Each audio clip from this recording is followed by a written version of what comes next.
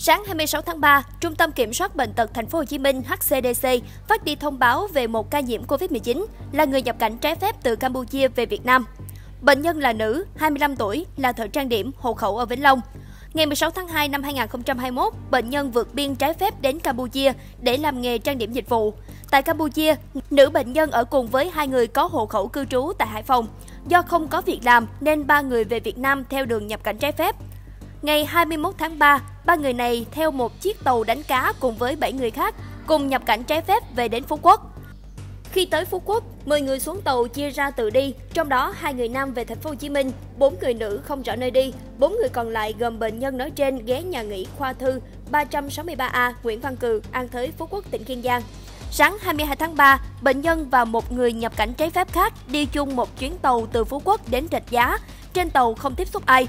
Hai người cư trú ở Hải Phòng, trong nhóm 4 người nữ đi cùng bệnh nhân, đi máy bay mã số VJ458 từ sân bay Phú Quốc, Hà Nội về Hải Phòng, ngồi số ghế 9B.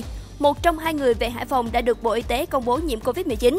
Hai người còn lại, bao gồm cả nữ bệnh nhân, đến bến tàu Rạch Giá đi thành phố Hồ Chí Minh đến đường Nguyễn Văn Linh. Sau đó, cả hai người bắt xe ôm đến khách sạn Quốc Thái, 90 đường số 7, khu dân cư Trung Sơn, xã Bình Hưng, huyện Bình Chánh. Ngày 24 tháng 3, do sợ nhiễm Covid-19, bệnh nhân đến bệnh viện FV tự khai chuẩn bị đi xuất cảnh để được lấy mẫu xét nghiệm dịch vụ Covid-19. Kết quả dương tính với SARS-CoV-2. Người đi cùng với bệnh nhân về phòng trọ trên đường Lê Văn Thọ, phường 9, quận Gò Vấp, từng có kết quả dương tính COVID-19 ở Campuchia, nhập viện vào bệnh viện tỉnh Sihanouk, Campuchia ngày 3 tháng 3, ra viện ngày 14 tháng 3 sau khi có kết quả xét nghiệm hai lần âm tính cách nhau 48 giờ. Trung tâm Kiểm soát bệnh tật Thành phố Hồ Chí Minh (HCDC) cho biết đã triển khai các biện pháp phòng chống dịch theo quy định. Hiện bệnh nhân đã được chuyển điều trị, vệ sinh khử khuẩn những địa điểm liên quan, điều tra và cách ly các trường hợp tiếp xúc gần.